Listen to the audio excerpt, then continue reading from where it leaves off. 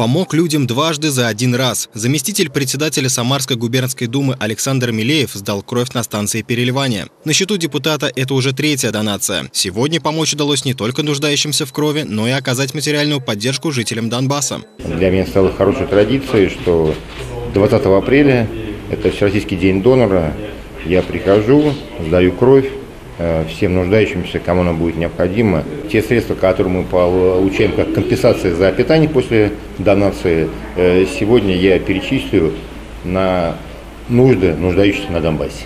Регулярный поток желающих сдать кровь на станции от 90 до 150 человек, но в день донора приходит традиционно в два раза больше. Кровь нужна всегда, вот, в любое время.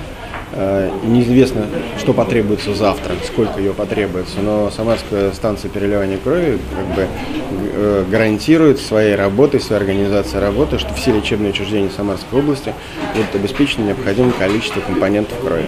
Каждому донору после донации выдали памятные подарки, а первые 100 посетителей станции переливания крови смогли получить анализ на наличие антител к коронавирусу бесплатно. Максим Магомедов, Василий Колдашов. События.